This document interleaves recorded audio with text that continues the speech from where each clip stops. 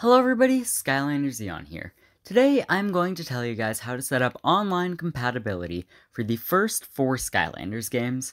To start off, this is not something that just anybody can do. You need to have a very specific set of things in order to get this working properly. To start, I'll mention how to host your game. In order to do this, you need a PC, Dolphin emulator, the game file, a portal, two plus Skylanders, a controller, a good Wi-Fi connection, and an app called Parsec. As I mentioned, this isn't something that's very accessible, eh, so it does take time to get everything that's needed.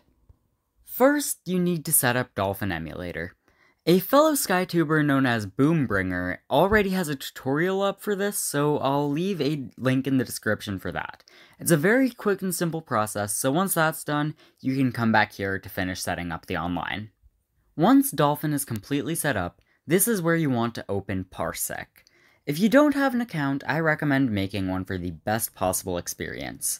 Once that's done, you will see a list of computers, or in most cases, you will see a single computer listed. This is where you click the Share button. Once you're sharing, you will see that a link has been copied. Send this link to your friend, and then it's in their hands for a bit. Remember to only share this link with people that you trust, as you don't want someone to do anything bad on your computer. Also, don't click the link yourself or things will really glitch out. Now, the responsibility goes to a guest. As a guest, you will need a computer with Parsec, a good Wi-Fi connection, and a controller. That's all. Once the guest has the link, the host must allow them to join. The guest must also be given access to the host's mouse so they can set up their controller. This is a simple process, so just get that done very quickly. Now, you're almost ready to play. Open your game of choice and you'll be able to start. There is one big catch to all of this, though. As I previously mentioned, the host needs to have at least two Skylanders. This is because only the host is able to use their figures, not the guest.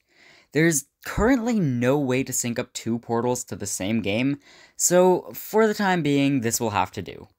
Once both characters are on your portal, you can play the games. Have fun exploring Skylands alongside your friends, and if you have any questions, I'll try my best to answer them in the comments below.